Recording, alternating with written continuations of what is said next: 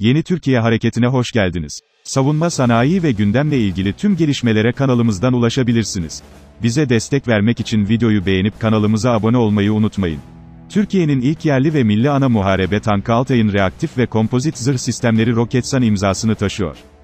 Roketsan Balistik Koruma Merkezi'nin geliştirdiği ve ürettiği yeni nesil zırhla kuşanan 2 adet Altay, Türk Silahlı Kuvvetlerine teslim edilecek. Roketsan'ın zırh sistemleri konusunda uzun yıllara dayanan bir tecrübesi bulunurken dünyada bu alandaki rakiplerine göre en büyük avantajı, zırhlı araçlara karşı füze sistemleri geliştirirken aynı zamanda zırh sistemleri de geliştirebilmesinden geliyor. Bu sayede hızlı ve etkin çözümler oluşturabilen firma aynı zamanda inovasyona verdiği önemle de Altay projesi için yüksek teknolojili malzemelerle daha etkili ve daha hafif zırh sistemleri geliştirmeyi başardı. Altay tankı zırh sistemi, Roketsan mühendislerince güncel tehditlere karşı geliştirilmiş yeni nesil hibrit bir zırh sistemi olarak öne çıkıyor.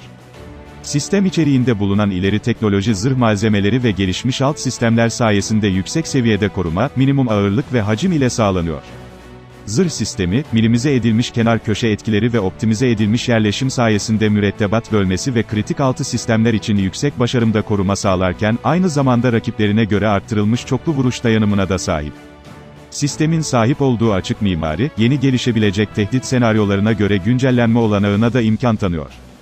Şu anda ise Roketsan tarafından zırh sistemlerinin seri üretime hazırlık faaliyetleri gerçekleştiriliyor ve tankın Türk Silahlı Kuvvetleri'ndeki testlerinin tamamlanmasının ardından toplamda 250 zırh setinin teslimatı hedefleniyor.